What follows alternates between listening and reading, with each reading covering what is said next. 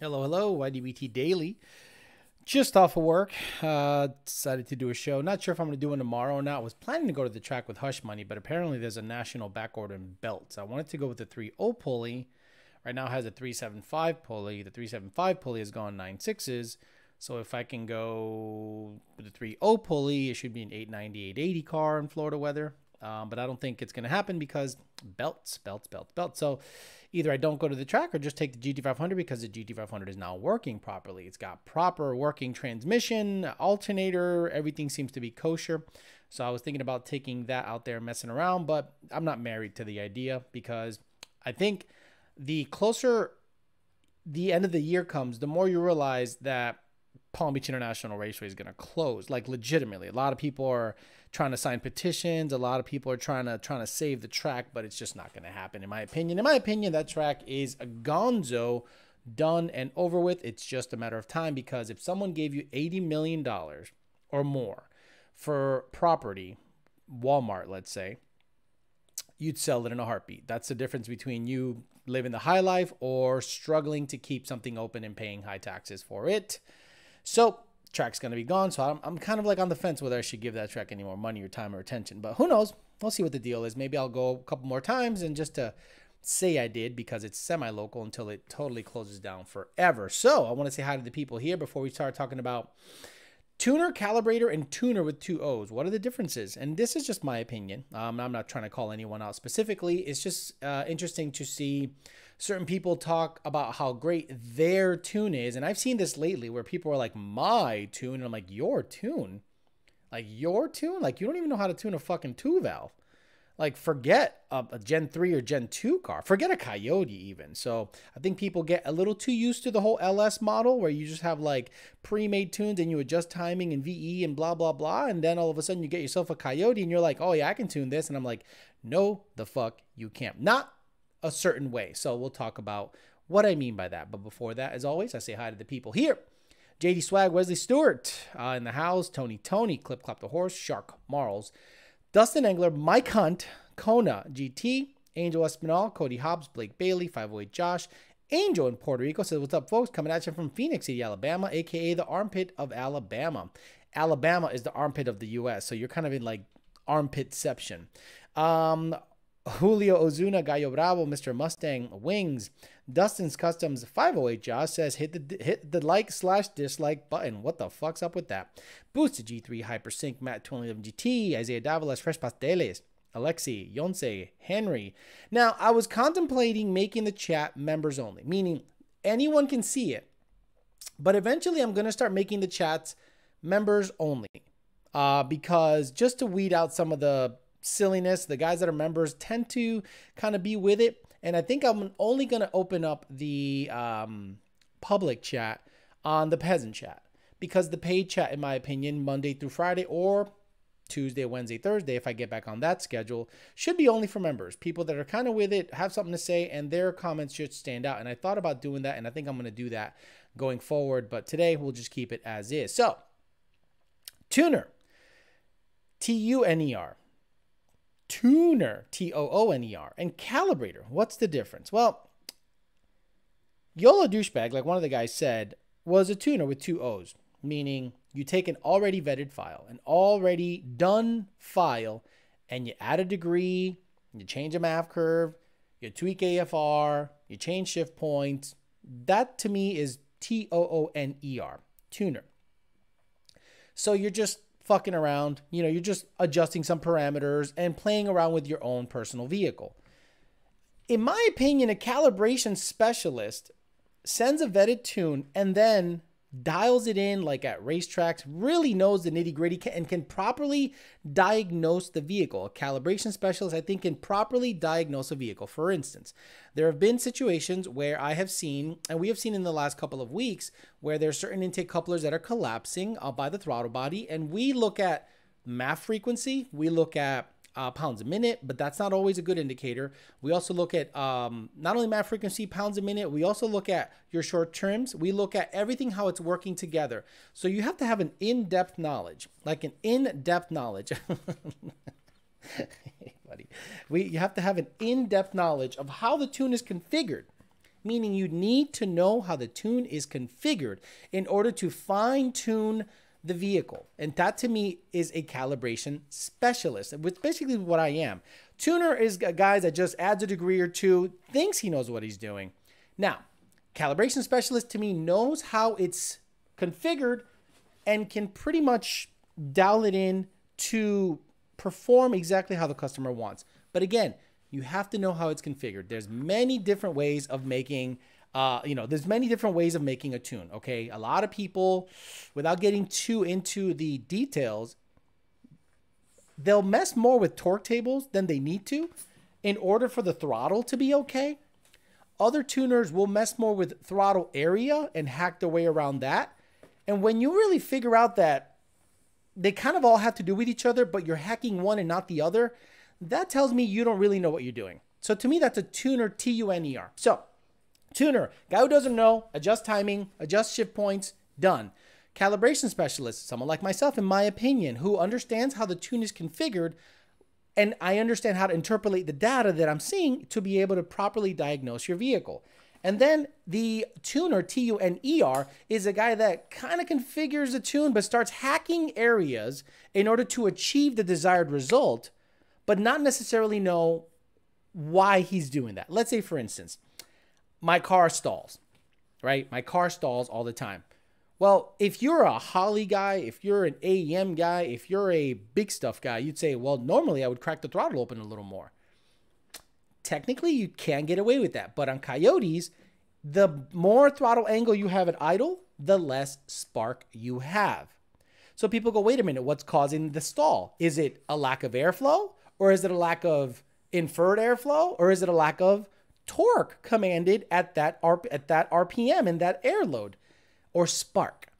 So a lot of people just go, well, let me raise throttle. Well, that didn't work. Let me do this. That didn't work. Let me. That's a tuner T U N E R, meaning he has a file, it runs wide open throttle. WOT tuning is still a thing, guys. WOT tuning is still a thing. There are tuners out there that their cars absolutely drive like shit, but the cars are fast. So they'll say, Well, I'm a good tuner because the car is fast. When they don't realize that at wide open throttle, the car is ignoring a lot of stuff. There's a lot of stuff the car is ignoring when you're at wide open throttle. So a lot of tuners will say, I don't care that cold start sucks. I don't care that it drives like shit because at wide open throttle, it shifts where I want. Fueling is where I want it. Spark is where I want it. And it runs a bad ass number. A real good indicator of that is to see how a car starts. Again, I talked about Holley stuff. Guys at in the in the staging lanes, Coyote, we're talking Coyote only. If they start their car and they need to constantly rev their car to keep it running, and then the car runs a badass number, you can say he's a tuner, T U N E R. If a guy has an NA car and he goes to the HP tuners or you know has a, a, a hacked file or, or he draws a file that isn't locked, loads it with HP tuners adds a degree or two, T O O N E R. Calibration specialist understands how the tune is outlined and knows how to properly vet the data that he's seeing. Okay. Uh, this is why I hesitate to do things that the customer wants. A lot of people say, well, Alex, why don't you just raise the idle? Understand, I shouldn't have to raise the idle. Now, a tuner, T U N E R, will probably raise the idle to fix your issue. But I want to know why is it idling high? Another reason, let's say for instance, TUNERs, tuners will say, you, uh, okay, the car's lean 20%. Here's 20% more fuel. I would say, why is the car 20% lean on vetted data? So a lot of people literally put in their heads that the tune is the issue. My car is lean 20%. Can't you just throw more fuel at it? I would say, why is the car lean 20%?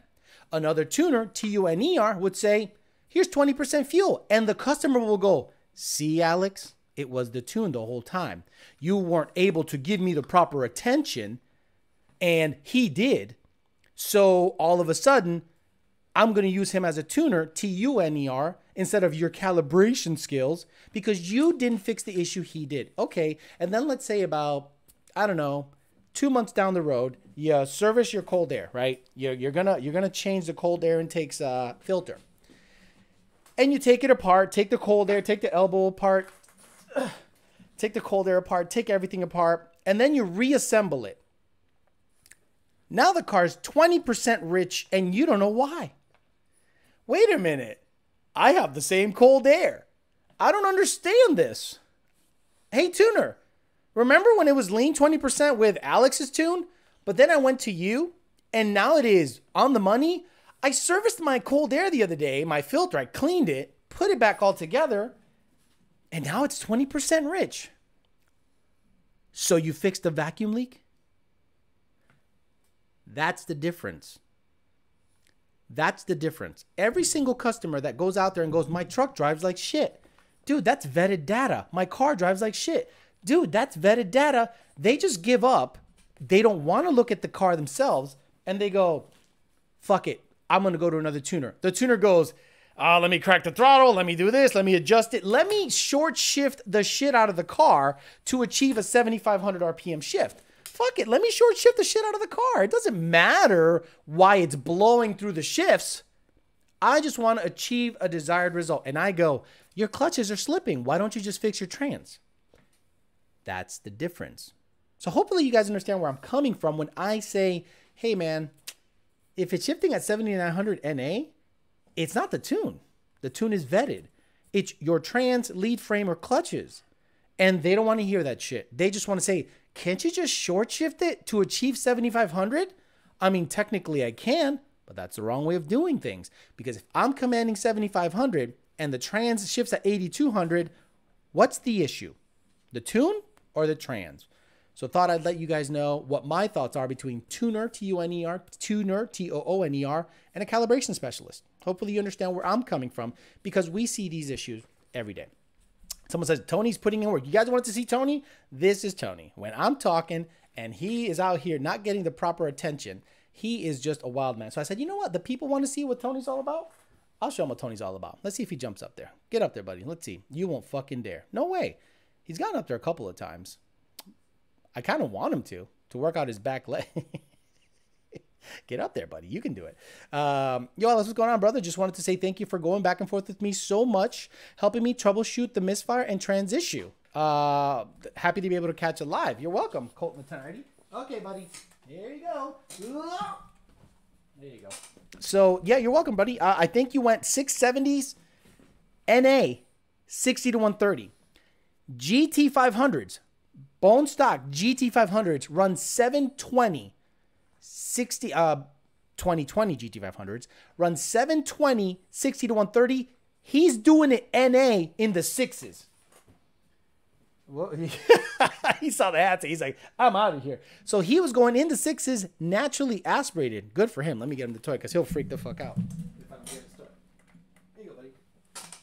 So, um, congrats. I mean, the car's rolling the fuck out. And NA 10R80 car running that kind of number is pretty fucking legit in my, in my opinion. Alex, thank you for getting me dialed in today with my Vortech Eliza's S550. Today, how many revisions did we do? Five? Five? His Vortech car shifting. The last tune I said, okay, so R4 on his tune, right? On Eliza's S550's car was shifting at 7,200 exactly where I was commanding it. Then I sent them a shift and I said, let's see if this tune shifts at 7,500 shifted exactly at 7,500. The tune commanding the shift point, and it happened. That that car is working perfectly. So Eliza's S550. Don't be surprised if your car is a 1040 car. If it launches good, like a 1040, 10, 1050 car. Like on pump gas, bitch ass boost on that Vortech. You're gonna like it very much.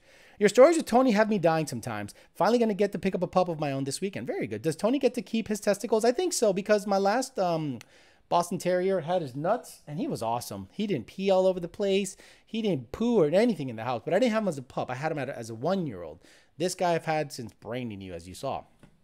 Let's get the likes up, guys. So yeah, we got 227 watchers and 131 likes. You know what to do. You want me to do some of these shows? I got to have at least give me 60 or 70% like to watch ratio because that usually uh, tends to go that way. Eliza says, yes, five. So today we sent five revisions back and forth and we never scheduled anything. He didn't tell me I'm going to take the day off. He just said, do it at your leisure. His logs were so clean, so good. We got him done in a day and a half. And the car probably makes 680 horse and he's going to run in the 10. He's going to be happy. Joey G says, Alex, shout out to uh, John Nardi at Lund working with him on my new TVS edition. Very thorough And thanks to Cheryl for shipping the refund on my new London apparel. You guys are the best. Thank you very much, Joey G. The the biggest difference I think the biggest difference I think let's say all tuners are the same. All tuners are giving you the same file. All tuners are giving you, you know, similar power, similar performance. Nobody can beat our customer service. Like nobody can beat the mechanism that Senior, Cheryl, Junior, Nardi, and Tyler have just fucking perfected. Just the system, the shipping, the the getting back to people, the the making sure the P's and Q's, the dotted I's, crossed T's, it's unbelievable.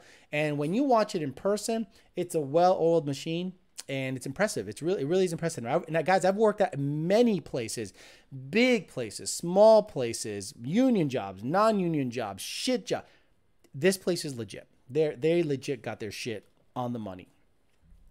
Uh, ba, ba. Jeremiah Camp in the house. Very nice. Uh, you're going to go to the track tomorrow? Cool. If it doesn't rain tomorrow, Jeremiah, I might be there, but I might be watching because I didn't get the Fairmont's um, belt in time. But I might bring the GT500. So who the hell knows? I got the spark plugs ready, change the oil, and I'm ready to party. See if I can go low eights in that hunk of shit. Uh, what up, perro? Uh, and and you have a thumb. I don't know what he's talking about. I'm 40 years old. After high school, I never had to check my grammar until Alex's show because it becomes a whole bunch of fun when I read it back. Um, ouch. A little late, but dropping me gusta. We'll listen later. Thank you very much. And Coyote says, uh, hit the like button. Thank you guys. I got 174 likes. That works. So someone said, weird question. Probably a dumb one, but I can send in a data log just to make sure everything's top shape. Car feels a little rich. Still runs amazing. Don't want to waste your time though. Okay. So that's another thing we get all the time. It feels rich. What does a car feeling rich feel like? Like, what does a rich feeling car feel like. Like a lot of people blame the throttle, throttle body latency or a bad O2. It's choking out, Alex. It's choking out. Well, fuel injected cars don't choke out. When sensors go bad, they start to act up. It's not like one day you're driving down the street and everything is hunky dory and perfect, and then it just acts up for no fucking reason. If it acts up, it's a sensor. You got water in the filter something must have happened to cause a change in the vehicle's driving habits. So, but yeah, but as always, send in a data log. Um, I'm doing an oil change to the S550 Mobil One, only one I could find available. Eliza's, that or Motorcraft. The Motorcraft fully synthetic S550 is what I use on all the vehicles.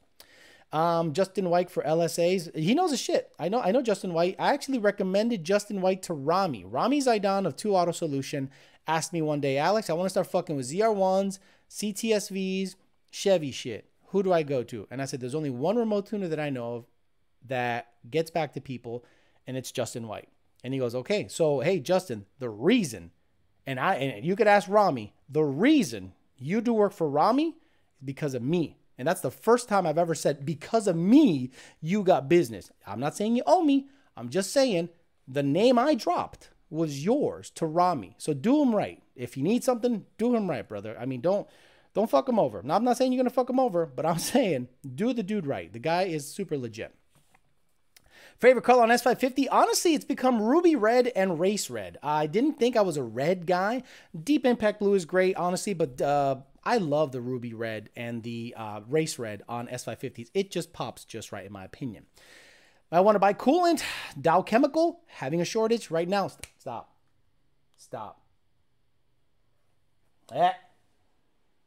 It gets a little nibbly, so you got to cut the shit. Hey. So, um, Castrol Edge 550, Rick Crawford Racing. I don't know what you're talking about. Creator Holo. Tuner can start with a stock file or blank setup or standalone and take your modified to completion. Incorrect. That's a calibrator. Um, Alex, what kind of sealant would you use on a MAF sensor and a manifold swap? Swap an F-150. Oh my God, what the fuck are you saying? Alex, what kind of sealant do you, would you use AMAF sensor or a manifold swap swamping F-150 LS manifold for a Mustang? Guys, guys, guys. One more time.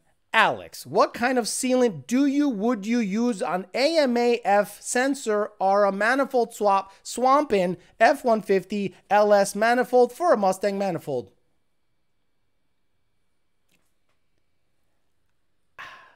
I don't even know what the fuck he's talking about.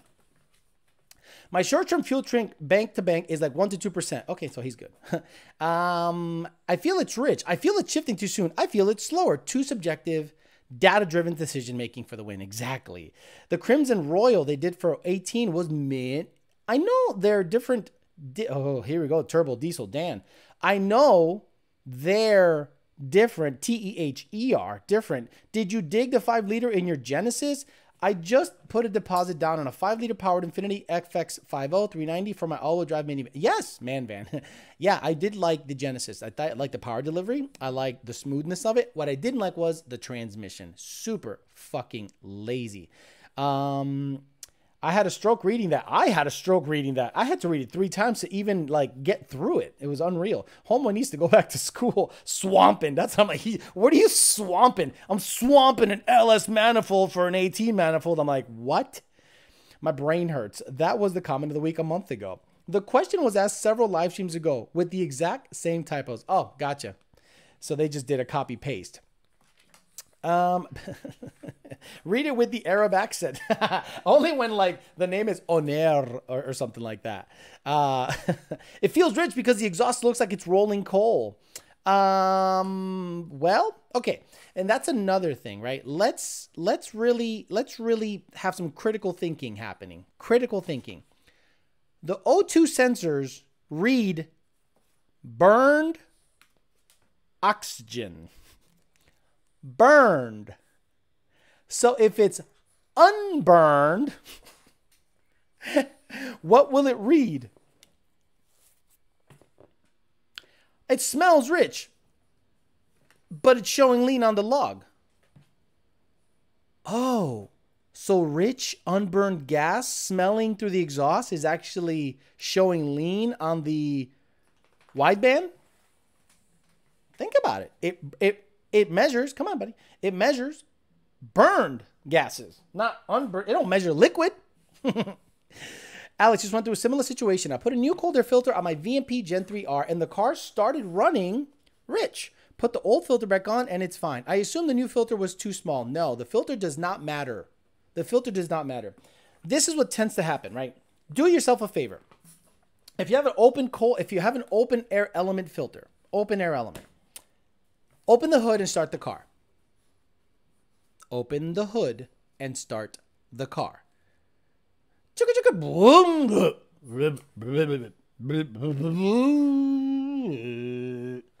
Now, shut the hood, start the car. Chicka chicka chilling. Turbulent air is the biggest culprit for startup issues. The mass airflow sensor is constantly sampling the smoothness of the air. So if you have a higher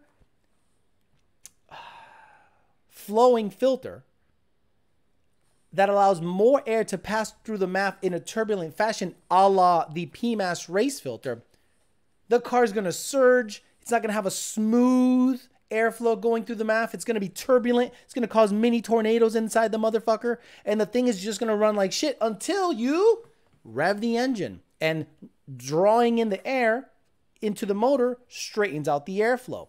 Then all of a sudden the car's smooth again. It drives fine. It drives fine, but it idles like shit because now you have less air being drawn through the filter and it causes turbulence and the mass airflow sensor is very sensitive and it causes issues. What diff do you recommend for a base Whipple 19 MT82?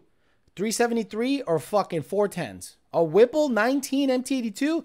373s or 410s, brother. Appreciate the feedback as uh, feels rich. I notice it's been sounding like a popcorn tune on decel. So, bad luck. You probably have a bad O2 or a lazy O2, meaning the O2 is on its way out. So, if I were you, I would take a look at uh, the data logs, send it in. We'll take a look at it. We need data though.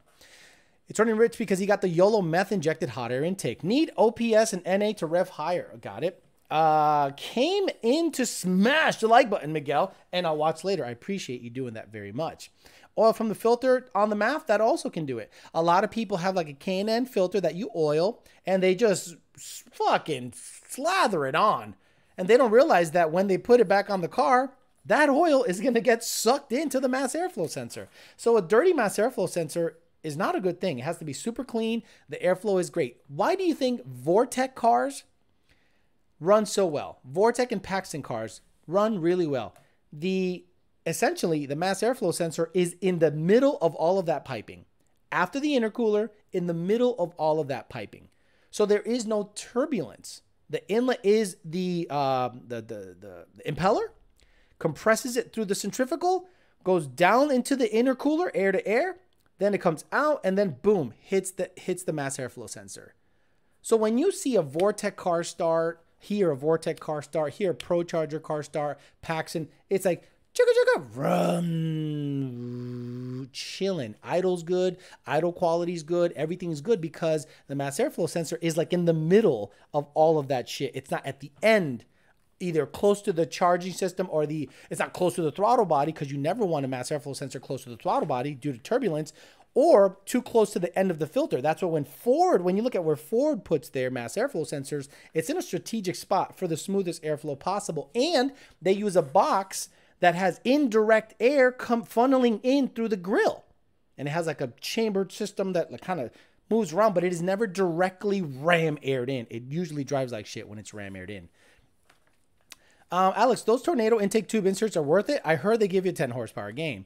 Uh, nice name, bro. Um, basically priming. Alex, any aftermarket AM gauges in the car worth having? No, because your N-Gauge, SCT, or RTD can read everything the OBD2 port is spitting out except flex tuning because I think that's a strategy issue or something how HP tuners samples things, certain strategies. Hey, you're biting a little hard. I don't care that you nibble, but you're biting a little hard. You're biting a little hard. Um, I'm here to learn about porting fuel injectors. That's the other thing. Did you hear that? Yesterday, some guy said, Hey, Alex, do you guys support modified stock fuel injectors to flow a thousand cc? Did you, excuse me?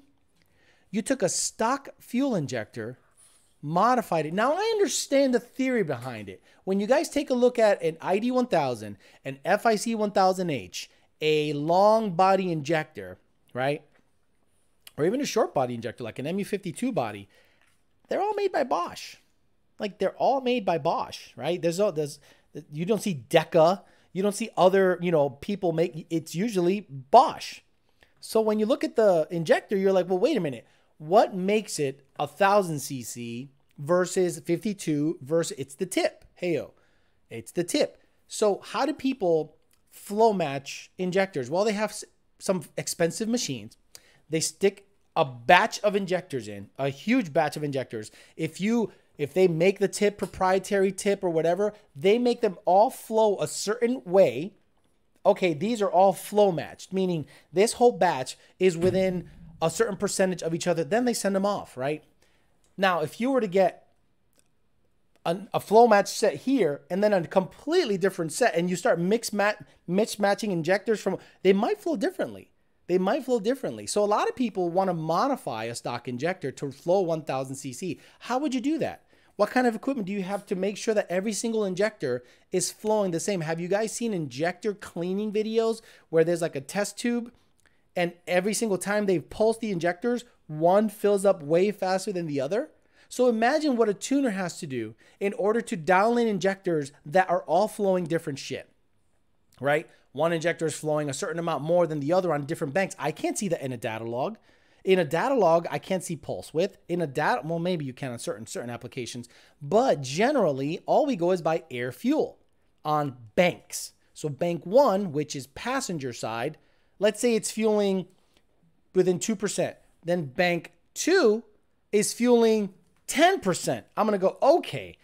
Now, do we have an exhaust leak? Uh, I don't think so. No, no, no. You can't think. You have to know. No, verified. Are both O2 sensors fairly new? Yes. So your injectors might need to get cleaned up because something's going on bank to bank. Is your combustion good? Are your plugs new? Are your coils? Do you have any codes? Because I can't go in there and individually raise cylinders if I don't know what all of them are using. That's why we say we want ID 1000s, FIC 1000s, on uh, 1440s. I recommend the thousands and the 1440s. To me, the 1650s are for racing only because you're not going to use them on pump gas generally. And I have 1650s in the Fairmont, and that sucker lives on the 85. Sorry to talk so much, but I, am on a data driven kick today. Um, some chick named him after YOLO. Wow, what's going on? Sometime when searching your name, some kid comes up. Got it. Um, I was talking about cars in another Mustang Coyote car, and I have a Mustang, but I still enjoy your general questions. Got it. Alex, what's the max wheel horsepower I can push using the fuel pump and injectors that come with the Whipple Stage 2 kit? You mean the stock fuel pump? And now, I don't know what Whipple uses. They use 38s, 52s, and 72s. I have no idea what the deal is. Let me get to the paid questions. I'm missing them. I'm sorry. Um, when are you going to tune the, any my Model Y? Never. Peyton Pruitt. Uh, SVT says, You guys over in London awesome. Dakota got me all set up on 85. Took no time at all. We're going to pull it down once I get my Engage back. Uh, awesome. Coca Cola says, I'm just here so I won't get fined. I Swallow Come says, Hey, Alex went from a 305.45 ET Street R to a 315.50. Do you like to keep them around the same pressure? I had a 305.45s at 15 psi cold. Thanks. Yeah, 15 to 17, in my opinion, at the track on the street in well into the 20s, maybe even 30. I have my R88s at 30 and the drive's great. It doesn't grip grip, but it's pretty damn good. What do you feel is normal short-term imbalance between bank 1 and bank 2? Bank 1 tends to run 10 to 15% leaner at low RPM, wondering if I have a leak. You have a leak or a lazy O2 sensor, MAT 2011 GT. You either have an exhaust leak and it's causing that sensor to pick up fresh unburned gases, or you have an injector issue on that bank. Usually it's an O2 sensor in my opinion. That's the cheapest route. Este show está de madre, bicho, says clap my cheeks, Alex. Tony está de madre. Bump some annual AA. I don't even know who the fuck that is. Alfredo Diaz became a seven month member today. Says, hey, seven months. Marcus Halderson says, channel support and thanks for all the info. Uh, hope I'll have a coyote one day. Just so rare and expensive in my country. Are you in Sweden? Looks like you're in Sweden. Car feels like it's running rich, so I changed four FICs for LU47s. That should balance them out. You'd be surprised how some people think exactly like that, sir. Alfredo Diaz says channel support. Just the guy 69 says had my 2020 in the shop for three months. Car has lazy throttle response and rough idle. I did a bolt check on the intake system and probably still persists. Only mod is E85. Could it be three month old E85? It doesn't help, but the best way to check it out is to data log it and see if the short trim fuel trims are on the rich side. Dude, what is your issue, dude? What is your issue, dude? I start to talk, and he starts to like freak the fuck out. He's, attention. He just wants attention. He's like a chick. Um, someone said my tip flows a little weird in the morning. I should call her. Chupapi says, Alex, what's the better choice for potential growth? A Gen 1 S197 or a C7 Grand Sport? Thinking about moving over to the Corvette platform though. Now, Chupapi, if money is no object, S197s are a fucking stout, stout, stout platform. To me, it's the Fox body of the future. Fox bodies to me are beginning to get to that price where you start looking at S197s, like V6 S197s, shit ass S197s. Why? Coyote swap them, make them race cars.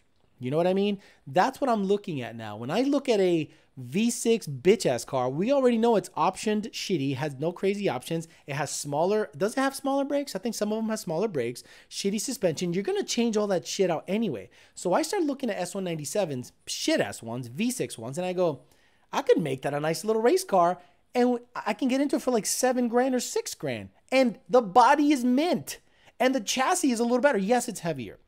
But when you look at a Fox body, Motherfuckers want 7000 for a clapped out piece of shit.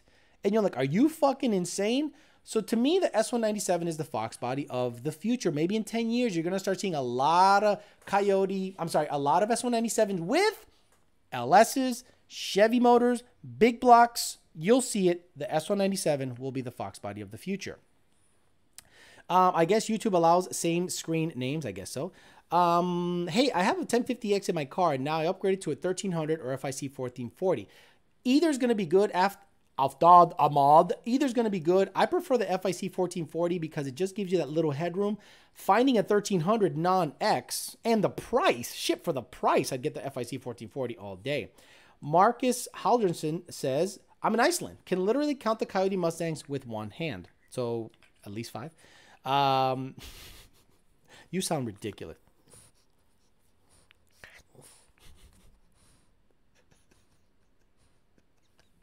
you sound ridiculous.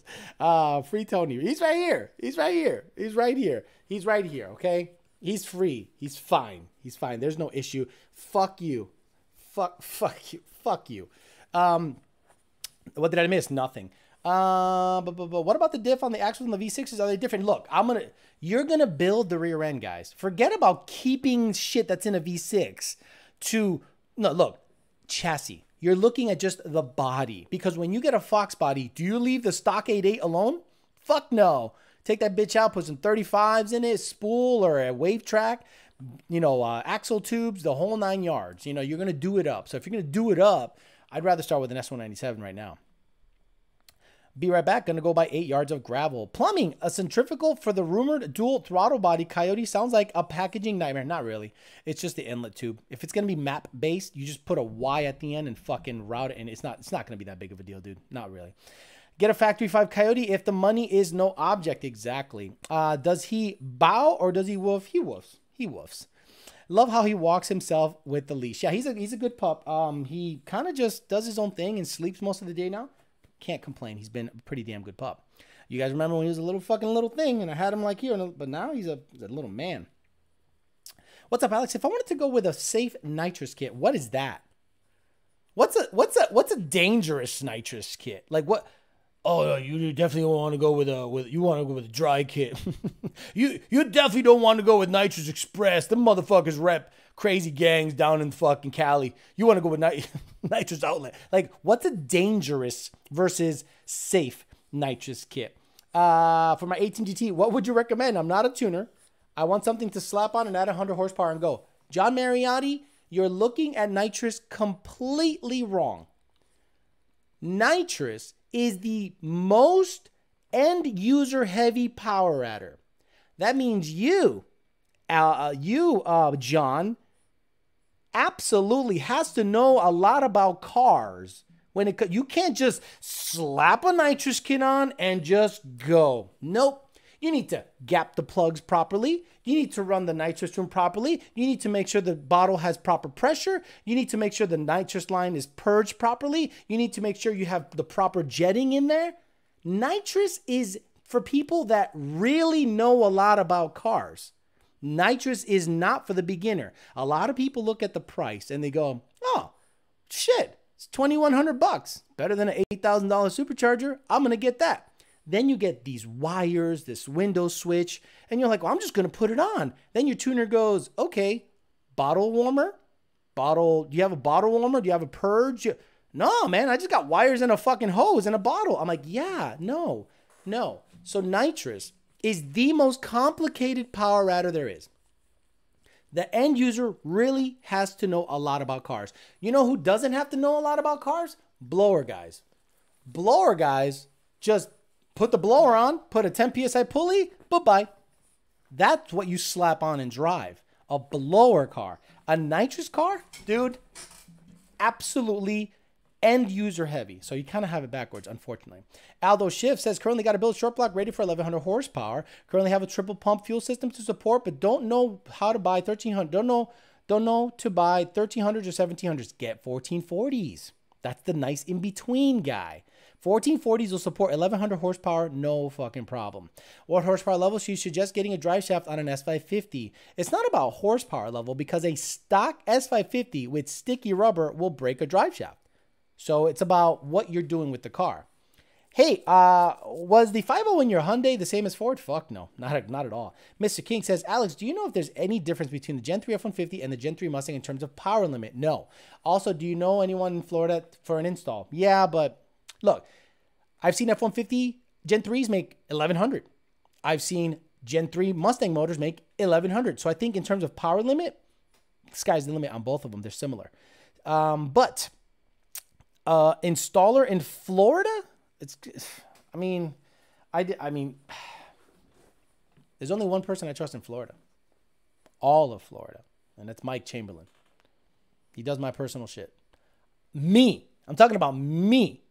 You can go to all the shops that rep their shit on Instagram and Facebook, but you're asking Alex Flores, who does he trust in Florida? It's one guy. It's Mike Chamberlain. I know you've answered this before, but what RPM on and off for nitrous? 3800 to 6500? No, Matt, twin GT, you can have it set. So you're a manual. You you shift at what, 7500? Have it on till 7300. And you have a wide open throttle switch, right? So when you let off the gas, the nitrous turns off. You get back on the gas, the nitrous turns on. Just get a Paxton. Yeah, the Paxton to me is the most uh, easy power adder, Paxton Vortech Pro Charger, the most easy power adder that you can slap on and just go. Nitrous, you cannot slap on and just go. It's end user heavy.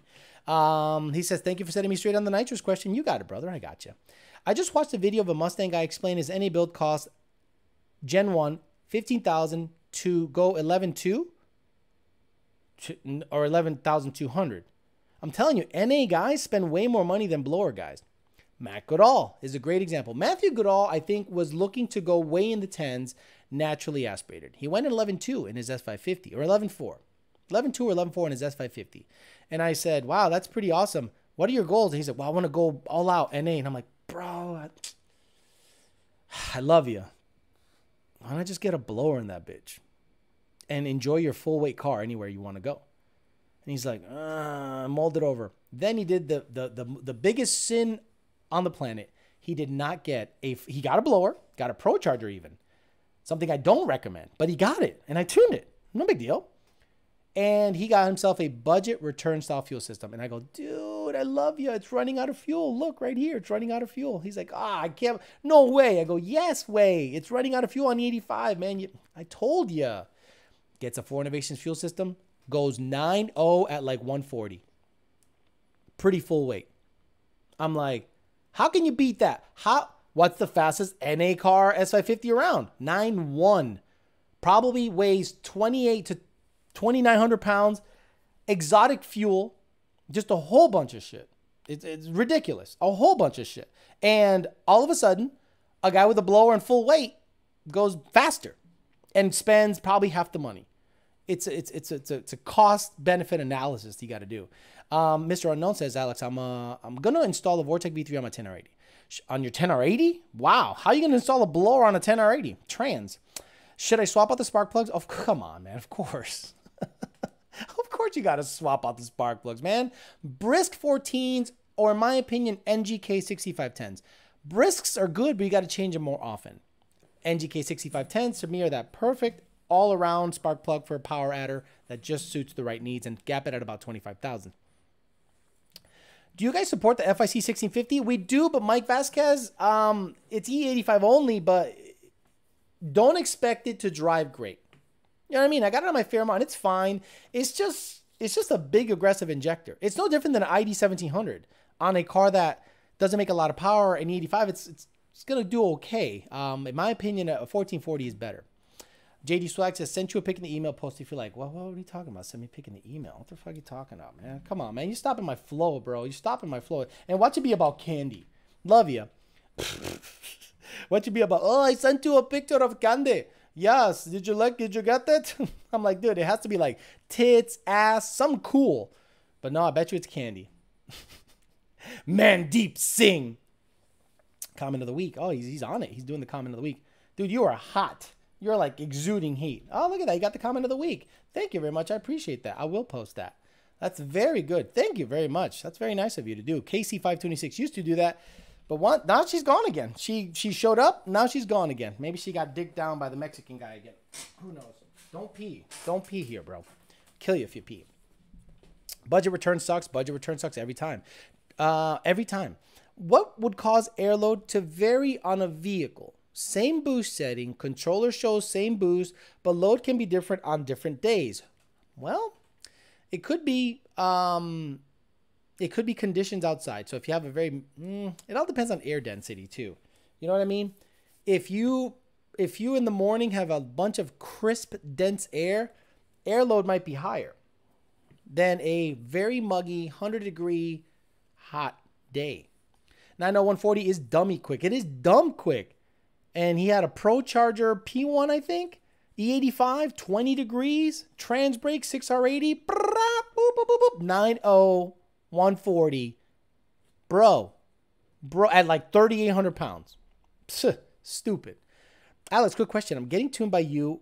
Uh, 2,500, 5,000 slow rev since my car is auto. Is it okay to put it in sport mode? Yes, that's the way we do it. And in the instructions, it says to do it that way. You can do it in gear. So the slow revs are very difficult. So a lot of people do it in park or neutral, and they find it very hard to go 2,500, 3,500, 4,500, 5,000. I go, no problem, guys. Put it in second, have a long road and just slowly bring it up. Ooh, and it's super smooth. And on the graph and the data log, it looks phenomenal. That's the way we like it. What breed is Tony? He looks cute when he's curious. Uh, he is a Boston Terrier. Boston Terrier. Everyone thinks he's a Frenchie. I'm like, he's a Boston Terrier, God damn it. Uh, she got mad you found a lady. Uh, yeah, we'll talk about that on the dating channel. It is an interesting story, but nothing crazy, nothing specific. 99% of the time, budget anything sucks at some level. Yeah, I mean, so again, nitrous. Nitrous is budget friendly, but it's end user heavy. To me, budget, okay, okay. So the Power by the Hour F 150 Turbo Kit you're going to look at it and you're going to go, well, Alex, why should I get the Power by the Hour F 150 Turbo Kit over On3 or anyone else? I'm going to say, how much is an On3 kit? And you're probably going to say 6,000 bucks, fully loaded, everything. Well, let's say PBH's kit is 8,000 bucks. Whoa, Alex is 2,000 more dollars. Labor. Labor the PBH Turbo Kit is going to end up being a basically a catback exhaust that you have to run an oil line, an oil pump to the to the turbo, just like any other turbo. Okay, so what you're saving is in install time. Budget fuel systems versus versus Fore Innovations fuel systems. What you save in price you pay for in labor for install because there's relays, there's shitty ass wires, the instructions fucking suck. So, yeah, you saved $400, but now you got to upgrade the pumps, you got to put booster pumps in it, you got to upgrade the wiring, you got to, it is, it's not working like you want. Whereas Fore Innovations, plug, play, plug, play, plug, play, run it, and you're done. Life's good. Dude, what is your issue, dude? He, and there's no way you got to poop. You already pooped, bro. Which would you pick, Turbo 400 Power Glide for a big single turbo setup? Okay, let's. How big? How big? Are we talking 1500 horse? I think I, I think both are fine. I personally would go with the 400. Personally, would go with the 400 because I have experience with it. Um, Alex, who's your fastest drag customer? Me. No. No. Uh, Mike, wait, the fastest car I've tuned is the GT500. it's 80, 81 car. So, yeah, me. I don't have anyone in the sevens. I think Junior has all the guys in the sevens, the big boys. Tony Sapora, which which thumb do I press to keep the channel fully bolted on? The trans blower Lady T, got it. And then Omar C has uh, became a Toteam level member. Thank you, sir. Appreciate you doing that. Um, Yonce50, how the fuck do you do that? What is Yonce saying? Alex, do you data log crankcase pressure for misfires or blow by? Yonce, where's the crankcase pressure sensor? Think about it. We can only data log what has sensors. So where's the crankcase pressure sensor? It's like when people say, Alex, I, I installed a catback. I need a new tune. Really? What's where's the catback sensor? Oh, doesn't it flow more air? Right. That's what the MAF sensor's for. Uh, I installed long tube headers. What should I do? Nothing. But I'm adding more air. Okay, the MAF sensor is taking care of it. Oh, they're confused. Um, but, but, but, max possible wheel horsepower. Here we fucking go with these questions, X. This is why I'm thinking of making it members only chats. For MT82 Whipple 19 using MS109 38 inch, I'm done. I'm done. I don't even care. I don't care. I literally don't care. Hey, Alex, I got my tune from you a, mo- a couple months ago, and for some reason, lately, listen to this, guys. Listen, listen, listen. Her Beaver Smells says, I got my tune from you a couple of months ago, and lately, I get a lot of popping deceleration. Sounds like a burble tune now. Should I send you a data log? You have an issue with the car because if it's doing it lately, you either have an O2 sensor going out or an exhaust leak, yes, send us a data log. Do you work on a Fairmont yesterday? I did work on the Fairmont yesterday and basically it was trying to determine the belt size for a 3.0 pulley. Come to find out, there are no belts around. All the belts are fucking back ordered. So Fairmont's not going to go to the track. Um, Sweet Stylist says just bought a 17 manual a couple of weeks ago. No question, just support. Thank you for doing the shows. Thank you for the support. Appreciate you very much. What's your opinion on solid axle swap for S550 that races at the track with very crappy traction? The car has potential to make 1200 horsepower. A 315 tire. What size tire do you have on it, Wilson's AK? I don't think a solid axle is the. I don't think a solid axle is the fix. I think a properly set up IRS is ju- not just as good, but it's pretty damn good over a solid axle. Now, TRZ has a S550 solid axle swap, you're going to pay big fucking money. And guess what?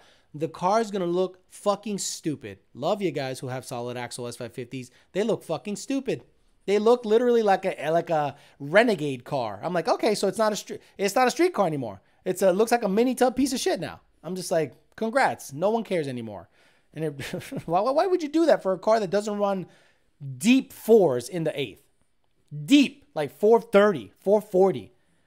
The Luns have gone for what, 70, 480 with IRS? And the uh, S197 has gone 470 with a UPR suspension, even. Just Bobo shit. Um, bottle nozzles, lines, Warner pressure gauges, window switch solenoids, budget friendly is just safe for a blower. Exactly. Max power is 1500 wheel. Try it. Okay. Plus crankcase. Oh, max power is 1500 wheel. Try it. I don't know what he's talking about. Plus crankcase is vented to trans, exploded and broke the OSS. I don't know what he's saying. I got a burble tune when my trans exploded, broke the bro- the OSS. Got it. Plus, crank is vented to the intake. You won't build any pressure. Got it. Max power is whatever the rods will live through. Hey, Alex, what size belt do you need? Um, I need a 8 PK 2190 copy. Here you go. And, and guys, I need it by today, so it's over because the track's tomorrow. So it's not going to happen. 8 rib. Going Sentry, should I forego the BS and install ID 1050s for some overhead? Never going to go over 700 wheel. That's what they say. Uh, or is that overkill for the Gen 2 Coyote? No, nothing's overkill for the Gen 2 Coyote. You should get 1050s. Beefcake sells a complete kit, like a Paxton two, you know, kit, 1050Xs, da da da da. It just works. Get it, get it, get it. You won't regret it. Do you know of Mo Mackey's JPC's Orange S 2015 car? Buddy just picked that car up a few weeks ago. I know of the car, yes. I don't know much about the car, but I know of the car. Alex, uh, can I take off the intake on my Vortech for Mexico Racing Night? Yes, you can take the intake off because the mass airflow sensor is in the charge piping, nowhere near the compressor. Hey Alex, what wheel horsepower in 85 should I start worrying about my Siley twin pump return style fuel system? Dash six feet in return. Wow, why did you buy that? Poof. Talk about a budget kit that don't work with a damn. Love you. Um, I would, I would worry at about 13 or 14 psi. I think 10, 11, 12 be okay. 13, 14, 15 psi on a blower application, it'll stress it out more. On a turbo application, you can get away with a little more because the turbos aren't causing the engine to effectively lose more. You know, you know what I mean? So when you're turning a blower with a Coyote, the crank is pulling on the blower and that's causing about 80, 80 to 90 horsepower loss. With a turbo, it's free power. So you can get away with a little more on a turbo than with a blower on a shitty fuel system. Uh, eBay 255 LPH pumps, son, got five in stock tank. One big 104 millimeter turbo. Okay, one, why? why? S550 will only need solid axle if you plan on full tubs and steam rollers. Exactly. I have a couple of projects coming up, and do you have an email you can post to ask a few questions? Fuck no. Yeah, support at lundracing.com. Support at lundracing.com. I cannot sit there and outline your whole build. I cannot sit there and chit chat about cars all fucking day. That's what I do for a job. Imagine you were a you build decks for a living, right? And that's all you did 8 hours a day. Then you go home and your buddies only only hit you up about deck stuff. Could you imagine? Those aren't friends. Those are fucking freeloaders. So you want me to chit chat with you about your builds coming up? Because what, you might help me, you might make, make me tune them? I, I don't get that money. Lund Racing does. So if you want to ask about builds and chit chat, love you, love you, love you. You got to understand, my personal time is worth money if we're talking car shit, and not a little money, a lot of money. Because at the end of the day, after 12 hours of fucking with car shit, the last thing I want to do is answer emails about car shit. No, thank you especially for free, because y'all don't want to pay. I love y'all. Y'all like, Alex, I need some advice. Here's $2 on Facebook. I'm like, okay, I'll answer one question. Like, I, like people think that the information that I have access to is worth two bucks.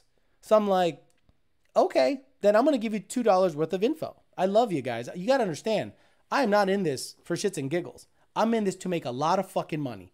I'm in the YouTube channel to make a lot of fucking money. I work for Lund Racing to make a lot of fucking money. If I do not make a lot of fucking money in either, I stop doing that. That's just how it is, guys. I'm here for money. Um, I'll hit you up on TB. I'll hit you up TBR for the injectors. Got it. Uh, what's up, Alex? Long time. Haven't been on the live, but here's a night after work. What's up, Izzy? Finally got switched to 85. Sorry for the stupid questions. Process had me stressed. You're good, brother. I just emailed you a log on Facebook. What's up? That's how it is.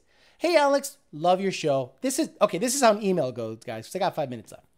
What's up, Alex? Love your show. Big fan since the old YOLO days. Hey, got a quick question.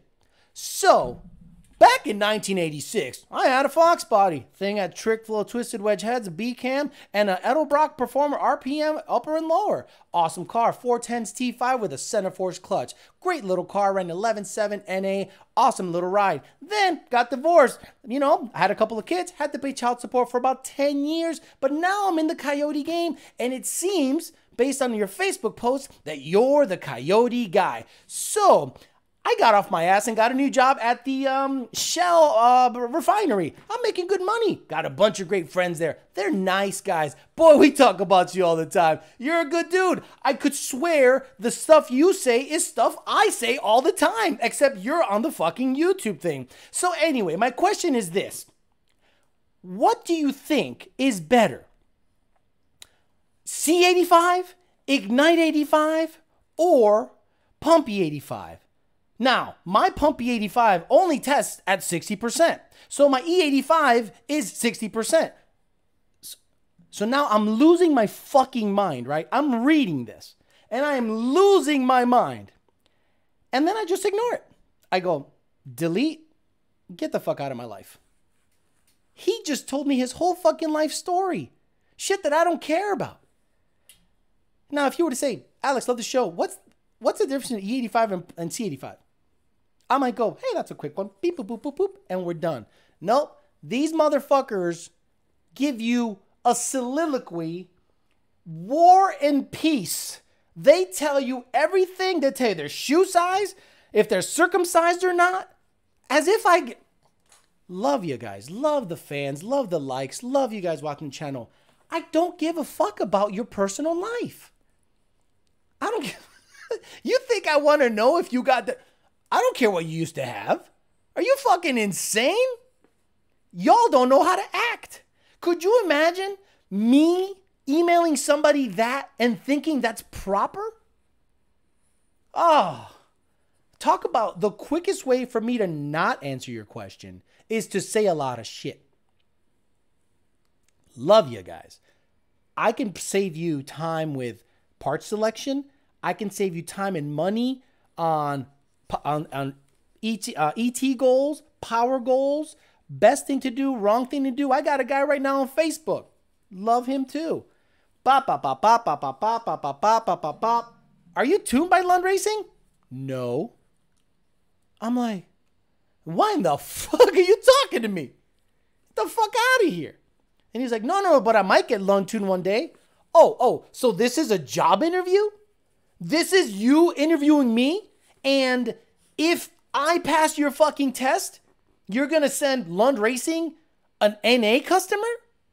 And you're going to want Facebook access because that's how you met me? Bro, you got it fucked up. You got it way fucked up. Way fucked up. And then they say, ah, I want you to tune it. You want me to tune it? You want me to tune it after hitting me up on Facebook about it so that then at 5 p.m., when you're done working and I'm done working, you're going to go, Hey, Alex, a couple questions about that car you tuned. You know, the one that I sent you money for? I can't just ignore you on Facebook then, so I'm going to ignore you on Facebook now. You understand what I'm saying? Love you guys. Uh, got to get Tony some new balances.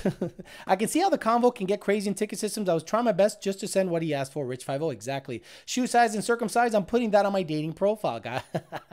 Have you have you mold on my arm and you think it's cancerous? Exactly. Hey, man, Alex, sorry I couldn't get. This is another one, guys. I'm going to go a little over. hey, Alex, sorry it's been a couple of months. Car flipped over. Was driving down the street. Hit a fucking, uh, I, I, I hydroplaned. Flipped over. Broke my arm. Then I got COVID. By the way, here's a data log. Alex, here's a data log. Sorry for the delay. I don't care why. I don't care. Um, but you're the biggest celebrity we know, but but you don't know me. That's the thing. Like you don't know me. You know this guy. You know Alex, your representative. Like I, have heard I've heard a, a girl tell me one time, you sound like a cocky fucking asshole on your videos. And I'm like, yeah, but then when you get to know me, you're like a nice guy, quiet, laid back in the cut, not talking all that shit. She goes, yeah. And I'm like, you think Denzel Washington is the guy from Training Day? Do you think Denzel Washington is the drunk pilot? Do you think Denzel Washington is the blind guy with the Bible killing everybody town to town?